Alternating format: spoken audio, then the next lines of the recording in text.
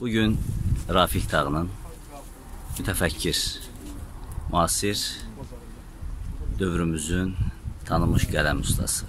Əslində müasir fikrimizin, ictimai siyasi fikrimizin tanınmış simalarında olan həm jurnalist, həm həkim, həm də yazıcı kimi millət onu xatırlayır, amma mən düşünürəm ki, o daha çox mütəfəkkir idi.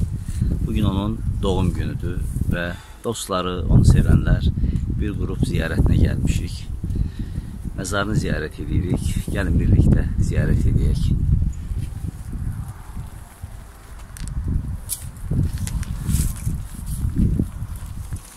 Bugün həyatda olsaydı 71 yaşını qeyd edəcəkdik. Amma hər zaman demişəm, yenə də təkrar edirəm ki, ölümsüzlük qazanıb. Amma Rafiqin, Rafiq Tağının ölümsüzlüyü ilə bağlı, onun qətli ilə bağlı hələ də cəmiyyətdə müpəm şübhələr davam edir. Bəlkə bununla bağlı İlqar bəy fikirlərimizi bölüşək. Rafiq yaşasaydı 71 yaşı qeyd edəcəkdi və daha təntənə olacaqdı. Çünki Rafiqin dostları onun e, fikir ortamı olan insanlar Azərbaycanda yeni sayədə də bu günbəgün artmaqdadır. Rafiqin e, qətli Rafiqin tutaq ki, qatili tapılsa belə, tutaq ki, sabah desinlər ki, bir nəfər kəsdi. Bu kəs, o həmin o e, Rafiqi bizi bizdən alan hansı qara qüvvə var idi ki, onun bir icraçısı, onun sifarişçisi onun sifarişçisi olacaq. O hər hansı bir şəxs ola bilərdi. O, o şəxs artıq e,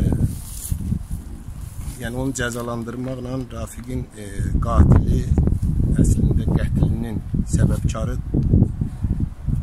o deyil. Rafiqin qatili əslində cəhalətdir. Cəhalətdir ki, o hələ də davam edir. Azad fikri qəbul eləmək cəhaləti düz sözü qəbul eləməmək, azad fikir, sözü düz demək, Rafiqin bu amalı idi və bunu qəbul eləmirlər. Cahil, cahil kütlə Rafiqin qatili bir şəxs deyil, əslində cəhalət idi. Vaxt ilə Axundov nicaradan götürdülər idi. Fəlsəfi fikir tarixində sözünü demiş insan idi və bunu mən hesab edirəm ki, dərk edənlərin sayı günbəgin çoxalır və davamlı olacaq. Necə ki, Rafiq Əbatını 10 il keçib, hər il yad olunur, davamlı olacaq. Yüz illərin e, davamı, necə ki, Axundovun fikirləri, Nəsiminin fikirləri, azad fikir, yeni, yeni modern fikir qoyan insanlar yaşayır. Rafiq də bu sıradan olan şəxslərdən biridir. Belə bu. Ruh şad olsun. Sağ olun.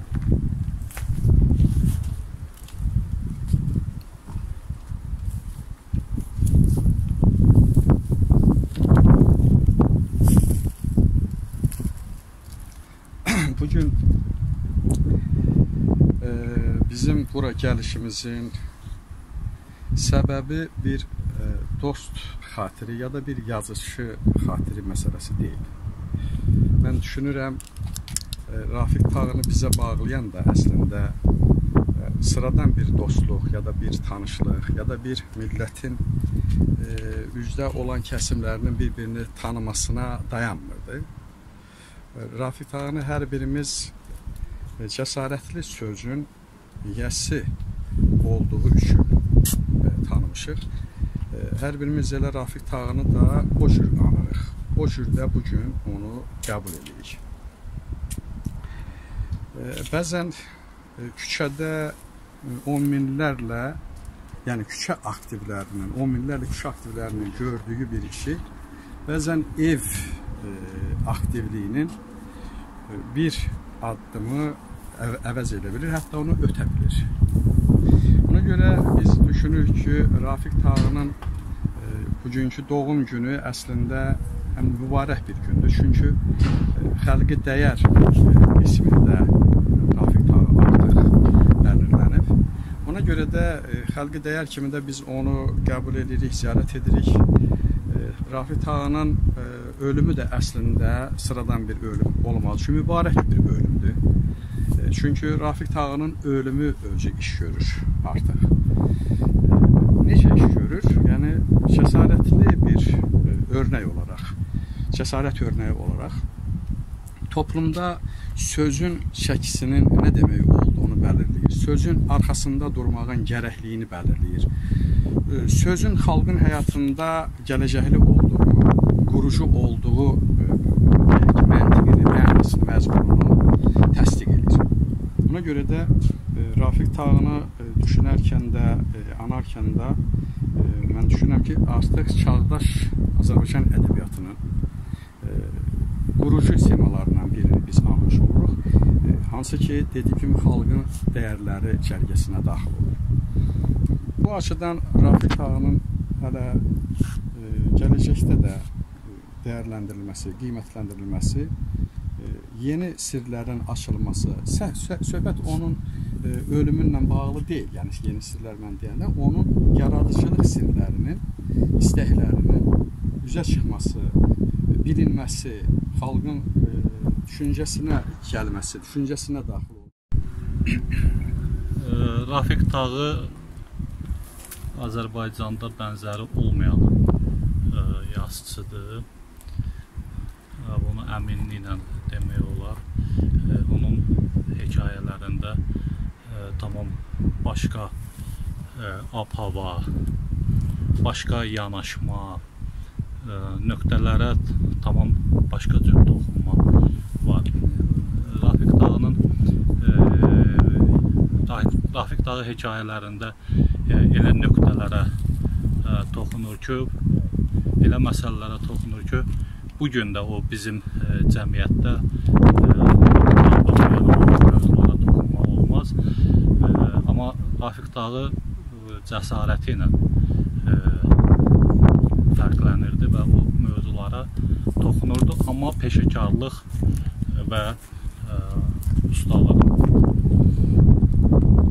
Mənə elə gəlir ki, ə, e, illər keçdikcə biz Rafiq Tağının dəyərini, böyüklüyünü daha yaxşı başa düşəcəyik.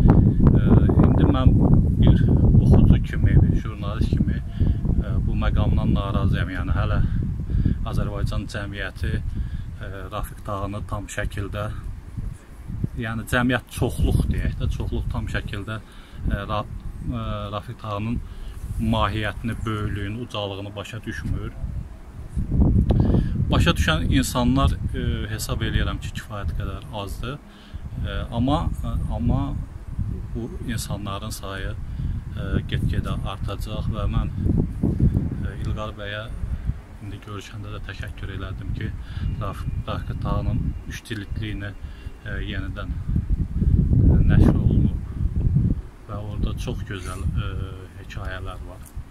Çox gözəl yazılar var.